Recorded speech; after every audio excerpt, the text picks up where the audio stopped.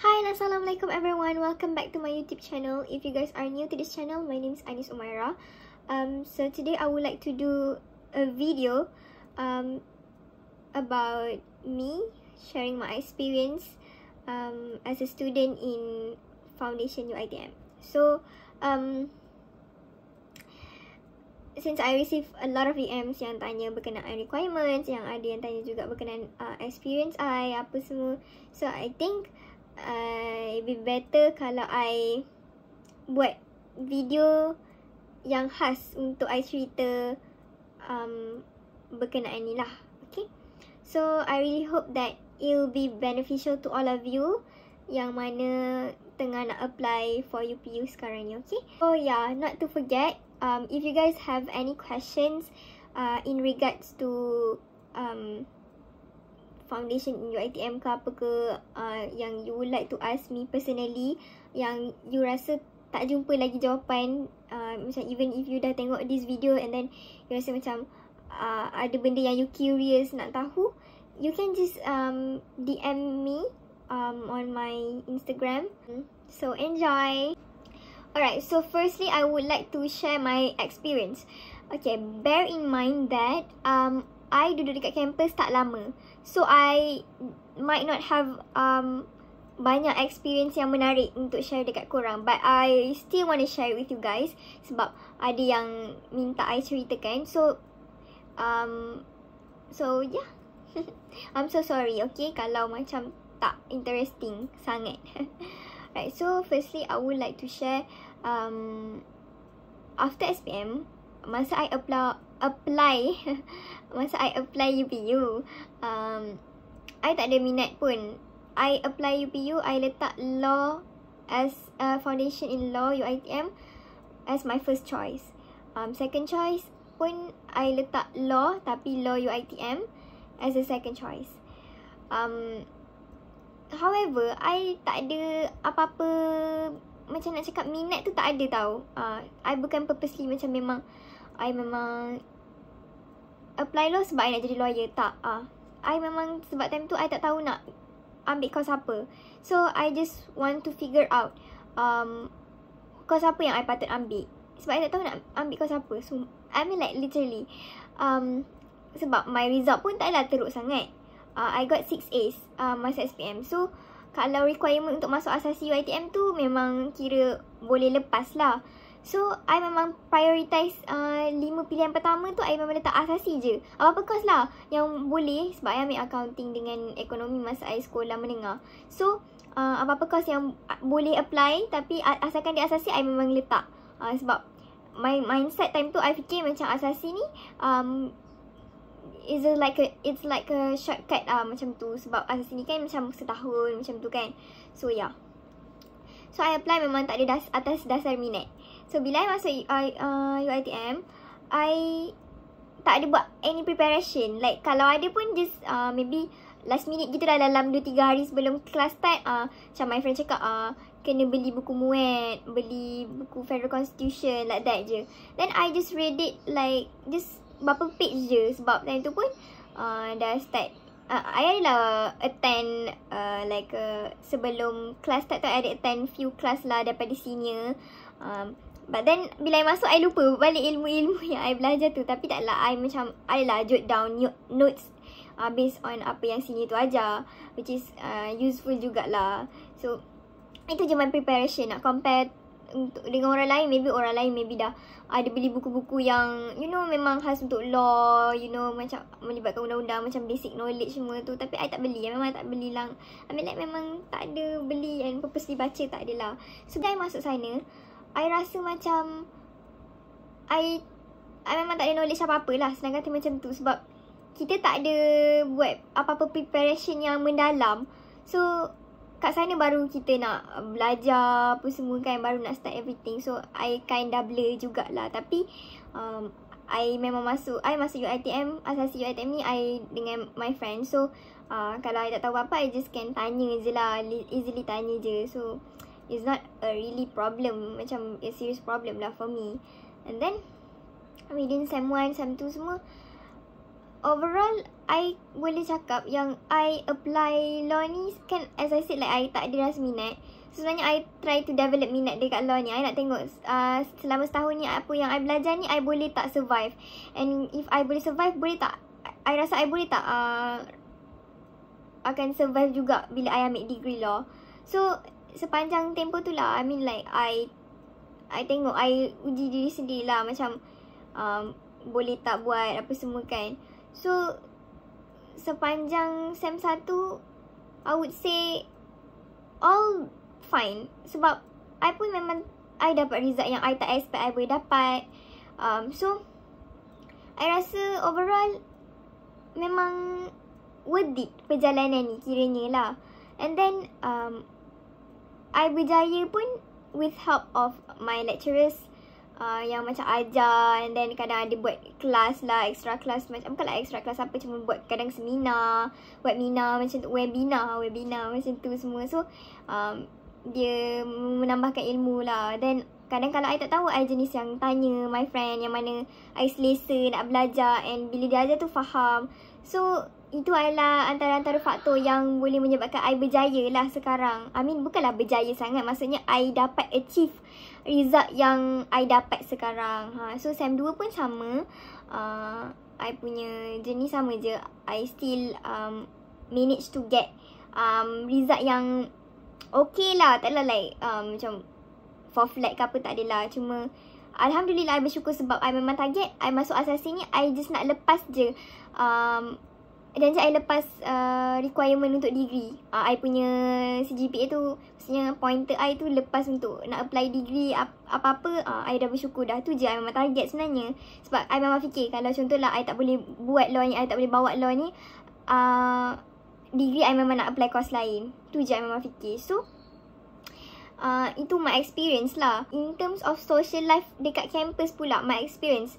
Okay, since I'm a law student, uh, it's not really hard to make make friends um, and then um, socialize pun tak susah sangat.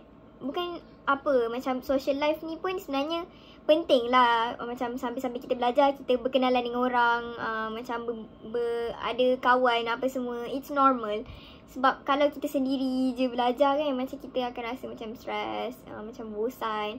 Bila kita ada kawan kita rasa macam you just enjoy the moment ha macam tu so for me sebab uh, law law course uh, banyak require um, assignment or task yang melibatkan uh, grouping Uh, and then uh, assignment-assignment tu pun kadang ada yang melibatkan kita nak kena interview orang-orang yang bukan course kita. Maksudnya mungkin uh, kena interview engineering punya course ke, TESOL punya course ke. Ha, macam just randomly uh, jumpa orang macam, uh, boleh tak saya nak interview just like that. And orang-orang kat Dinky semua I rasa student-student kat Dinky semua macam memang mostly uh, friendly. Jenis yang cool yang macam boleh cooperate and macam oh boleh sure lah, macam tu.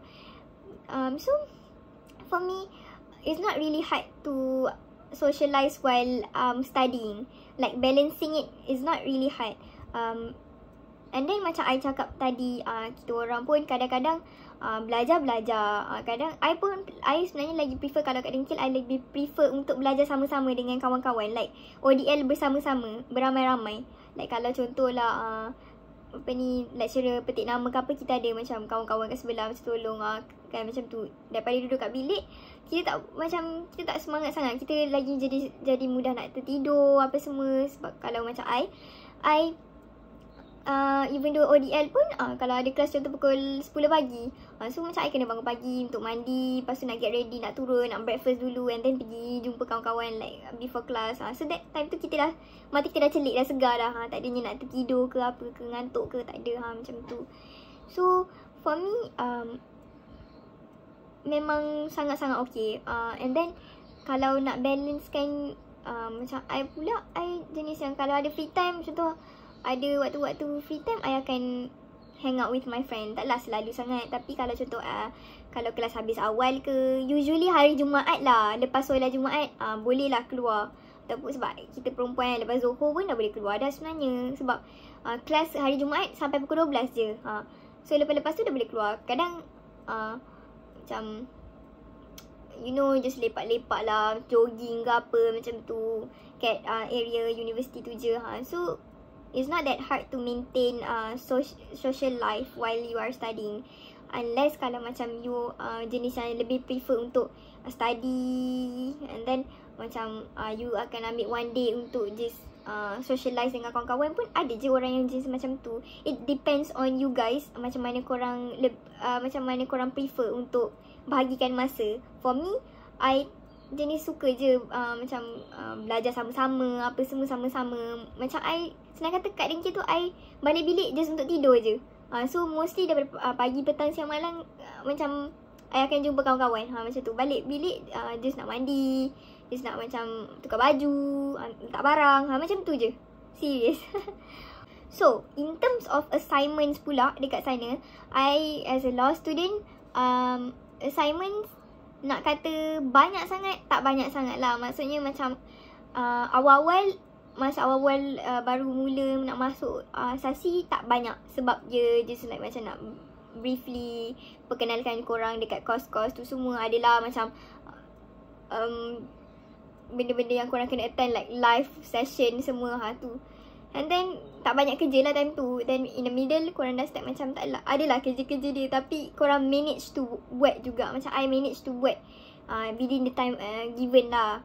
Tapi bila nak dekat final Itu adalah waktu-waktu yang sangat hektik So it's normal actually as a student uh, Akan hektik pada waktu-waktu dah nak dekat final. Sebab benda tu uh, macam time tu lah kita nak kena kejar uh, Assignment-assignment yang punya deadline and then time tu kita nak busy nak study kita kena pandai bahagikan masa lah. So I usually uh, I akan macam I jenis yang kalau buat assignment I lebih prefer untuk habiskan uh, mengikut I prioritize mengikut uh, due date dulu. Macam contoh kerja tu bila nak hantar utamakan mengikut uh, due date. So I akan buat macam tu.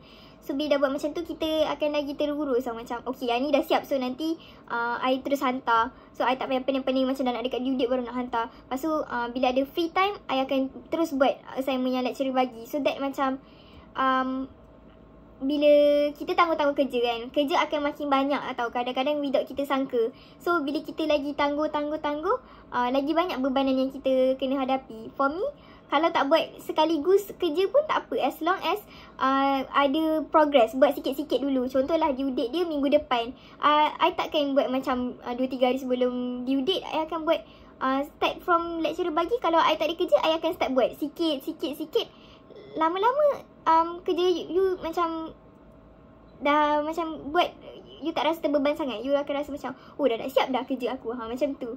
So depends on how, uh, how you manage lah. Tapi for me assignment dia bila dah nak waktu final yang memang betul-betul hektik. Uh, as long as you guys boleh uruskan masa, insyaAllah semua benda akan siap mengikut due date-nya. Okay, so in term, in term of exam pula, exam um, dekat UITM uh, ada empat kali. So one sem dua kali. Uh, midterm dengan final. Uh, So for me uh, Okay je sebab Kalau law course Dia tak adalah banyak quiz-quiz ke apa Tak adalah Macam memang tak ada pun. Uh, Sebab dia Kalau law course Dia banyakkannya Kebanyakannya Menggunakan carry mark uh, Carry mark kan macam uh, Korang buat uh, Ada assignment ni Korang buat grouping assignment uh, Nanti contoh ni dap- Daripada grouping assignment ni uh, 10%, 10% dia ambil uh, Korang kena buat uh, Task ni uh, berapa persen pula dia ambil. Uh, nanti final maybe dalam 40% macam tu. Dan uh, tambah, tambah, tambah, tambah. Apa benda semua. Uh, jadilah markah korang. So sebab itulah uh, kena mainkan peranan. Kalau grouping task pun kena mainkan peranan. For me, um, assignments pun I kata, sebab macam I kata kan, dia grouping assignment. So, uh, assignment pun dah dibahagikan mengikut macam peranan korang dalam grup tu. So kalau contoh uh, group leader korang dah bagi apa yang korang kena buat, korang just buat apa yang korang perlu buat. Bukannya macam individual task yang korang kena buat daripada A sampai Z semua benda sendiri. Ha, so kat situ dah mudahkan korang. So tak adalah banyak sangat kerja korang nak kena buat. Ha. So in terms of exam pula, uh, I suka exam dekat UITM ni dia punya sistem sebab korang just perlu fokus empat course core courses yang uh, korang ambil. Uh, Maksudnya macam law punya subjek lah. Uh, Jadi dia bagi korang masa yang cukup Untuk korang study during study week tu. And then setiap uh, masa kat final week pun Setiap subjek dia akan selangkan Satu hari Untuk korang study Fokus untuk subjek tu je. Maksudnya macam contoh lah kan I bagi contoh um, hari Isnin korang uh, exam law 033. So hari Selasa is a break, is a gap for you to study for next subject hari Rabu. Hari Rabu maybe law 034. So korang boleh fokus satu hari tu memang korang revise je balik apa yang korang dah belajar during study week. Ha, tu, tu I suka. And then I nak beritahu yang midterm tak ada study week. Ha, midterm tak ada study week. Tapi final ada study week. So um, midterm pun dia tak keluar banyak uh, banyak subjek eh, banyak topik. So I think korang akan sempat je study sebenarnya. Ha. Itulah. Schedule pula kalau dekat uh, UiTM ni, asas UiTM ni, I would say tak pack sangat. Um, dia just like sedang-sedang lah yang korang boleh adapt lagi. Maksudnya macam I, uh, usually I akan start kelas pukul 10. And then I akan habis kelas dalam pukul 4. Pukul 5 tu paling, uh, pukul 5 tu paling lama lah. Paling lambat habis kelas. Tapi usually lecturer pun akan lepaskan korang Contohlah kelas 2 jam, uh, sejam setengah dah habis kelas. Kadang sejam pun dah habis kelas. Tapi usually sejam setengah lah. Uh, so, uh, kadang-kadang uh, kelas cancel ke apa, korang boleh habis mas, uh, habis awal kelas. So, uh, time-time tu lah korang nak rest ke apa, petang ke apa. Uh, malam baru I macam uh, start buat assignment ni kalau ada. Uh, macam tu lah. Usually macam tu. Kadang petang kalau habis kelas awal, uh, mungkin kalau nak uh, chill-chill, nak lepak dengan kawan and time tu tak ada banyak assignment, boleh. Uh, macam tu lah. I would say tak adalah macam lecturer uh, purposely buat kelas malam, uh, extra kelas malam-malam buta ke apa, tak ada. Malam memang dia tak kacau. Tapi malam, kalau contohlah lecturer tu sendiri ada macam nak ganti kelas ke apa, and then dia dia pun akan discuss dengan uh, korang dulu macam, uh, boleh tak nak buat replacement class hari ni malam ke apa? Kalau korang tak agree malam korang boleh cari waktu lain sesuai. Ha macam tu. So for me tak pack sangat pun. My law course lah I don't know lah ada courses yang lain.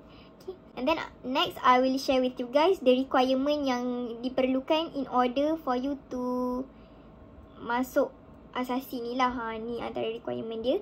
Untuk law subject eh law course saja okey yang ada courses I I tak share lah sebab lebih banyak. So korang kena obtain at least A minus in any of three subjects. Uh, except for English and mathematics.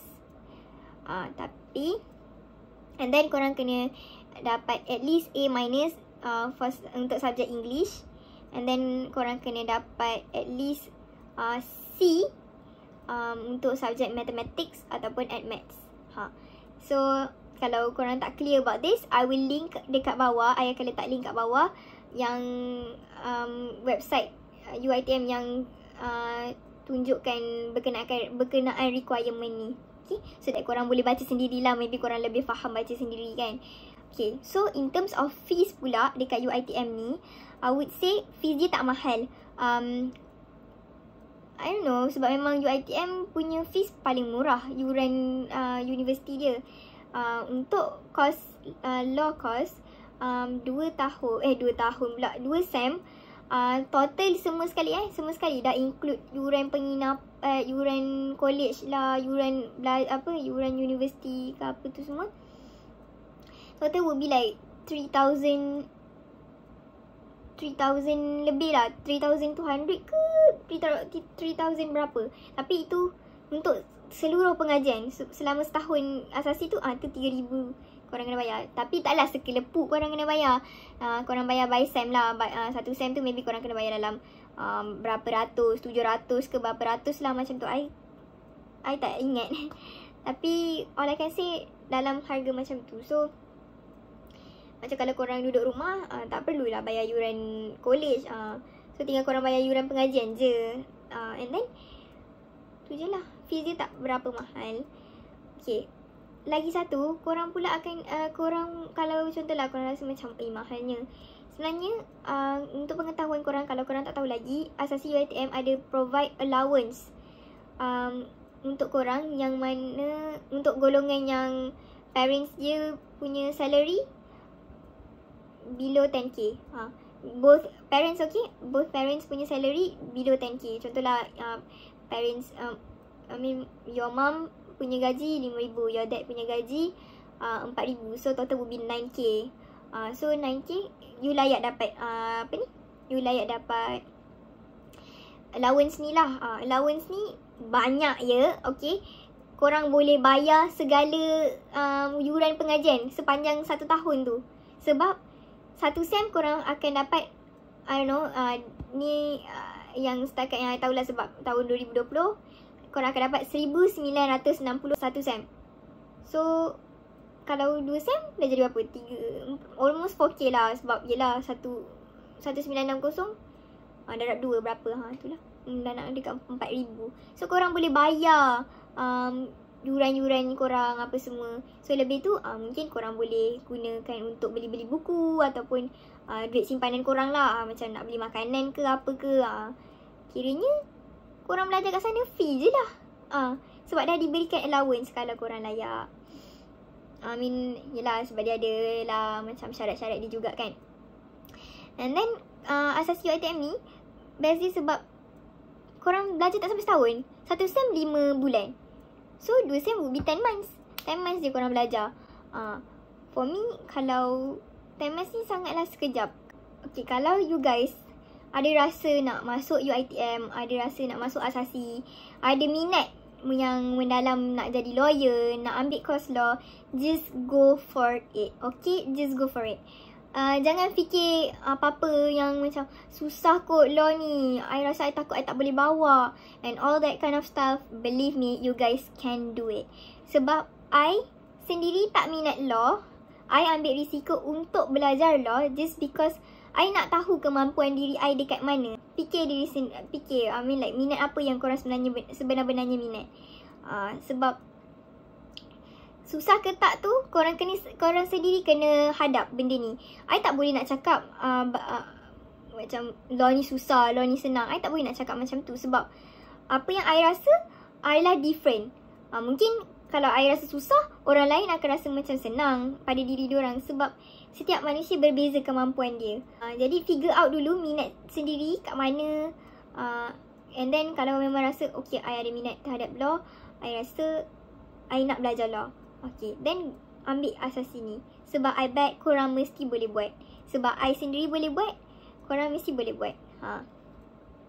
And then kalau untuk orang yang memang tak tahu minat apa, minat yang korang ada, macam apa, yang korang minat, apa yang korang nak ambil, course apa yang korang nak ambil, korang tak tahu. Okay. I, I ini, uh, based on my experience, I jadikan asas ini sebagai jalan untuk I test myself.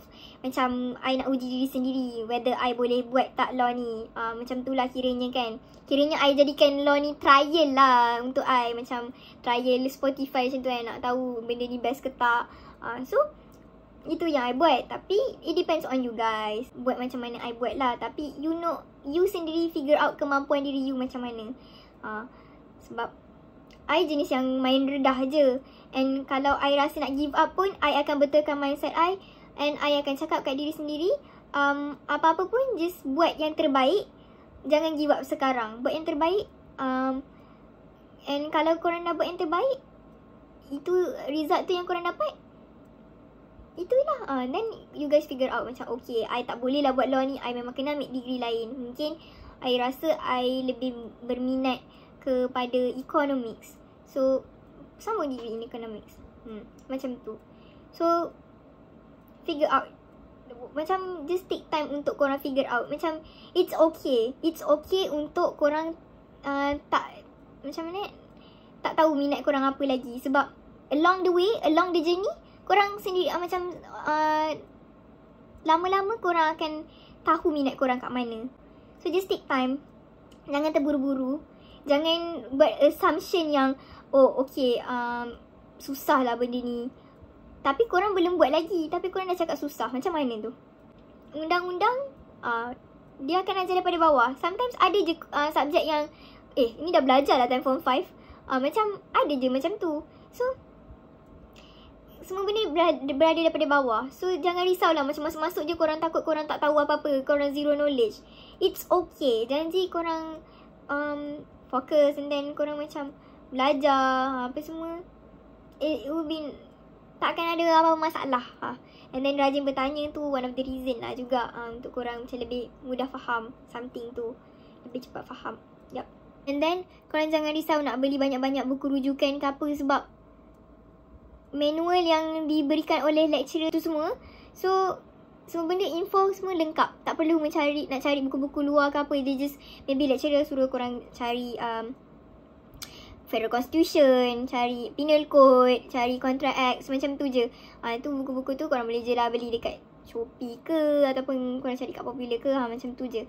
Tapi buku-buku rujukan yang luar yang lain uh, tak diperlukan pun sangat. Memang dah ada manual tu dah cukup sebab dia cara ajar itulah yang ada dekat dalam manual tu. Uh, and then uh, kadang maybe lecturer buat slides ke apa. Uh, kadang slides tu dia ada tambah-tambah nota macam uh, extra notes ke apa. Uh, korang boleh jot down ataupun print out apa semua. Memang lecturer akan bagi uh, slide tu semua. So you guys jangan risau nak macam buku rujukan apa nak kena beli. Tak ada. Dia just korang bayar for manual tu. Ha, tu je lah. Tak ada additional buku-buku lain sebab I think tak guna sangat pun sebab I pun bukan beli buku-buku rujukan tak ada beli. And then guna guna 100% manual je untuk study apa semua. It's really useful. And then jangan pernah ingat asasi student just belajar je all the time. Sebab hakikatnya I sebagai one of the student kat situ I enjoy my life masa dekat sana. Maksudnya belajar-belajar tapi socialize, ada social life pun still ada. Maksudnya macam what can I say? Uh, kita still enjoy while studying. Bukan studying all the time sampai memang uh, hari-hari ada assignment. Memang ya Allah tak boleh nak keluar bilik langsung sebab memang pecah kepala lah belajar je all the time. Tak ada. Yang penting pada manage masa. I think that's the end of the video um, I hope that you guys enjoy this video. I'm so sorry if I ada salah cakap ke apa in this video ataupun um, my information tak berapa nak lengkap macam mana yang korang harapkan ataupun my experience tak interesting macam mana yang korang macam expect daripada I. I'm so sorry okay? Sebab I try my best to figure out macam try to share with you guys um, apa yang I dah go through. Sebab I pun tak banyak experience sangat sebab yelah lagi pun SEM 2 pun duduk rumah je. So ini je yang I boleh share dekat you guys. Um, so that's it um, before I end this video I would like to announce something special. Sebagai tanda appreciation I terhadap korang semua yang dah support I. And then I almost reach 2k subscribers. I akan buat mini giveaway. Um, di mana siapa yang bertuah tu akan memenangi satu mini foundation and then dua lip cream ataupun lip gloss lah. Which one lah yang dia nak? Uh, dia, dia akan dapat dua. So total uh, harga untuk semua eh tiga tiga tiga tiga barang ni will be like 53 ringgit macam tu. So um I takkan tetapkan I takkan tetapkan shades apa yang pemenang tu perlu dap- akan dapat dia akan pilih sendiri uh, mengikut skin tone dia lah. Jadi kalau korang nak memenangi uh, giveaway ni senang je. Korang just perlu subscribe my youtube channel kalau korang belum subscribe lagi and kalau korang dah subscribe korang just tinggal uh, follow my business account uh, follow my business account and then uh, korang perlu like dekat post yang I akan tunjuk kat sini lah uh, Okay, korang like kat post tu and then korang uh, kat komen tu korang tag uh, kawan-kawan korang. Lagi banyak lagi bagus. Ha, uh, tu je. Itu je, sesimpel itu je. Then I I can pick uh, the winner. Okay? Uh, tu je lah. Um, and if you guys uh, interested oh, untuk beli Camellia Cosmetic punya products, korang boleh purchase dengan I sebab I um, jadi dropship untuk Camellia Cosmetics. Right now pun I guna Camellia Cosmetics on my face. So kalau korang berminat, korang just boleh klik dekat my business account. Uh, I akan letak kat description box below. So korang just tekan and then I'll serve you. Okay, apa-apa. Nak consult apa-apa, I boleh serve. Okay. Thank you so much guys. Assalamualaikum. Bye-bye.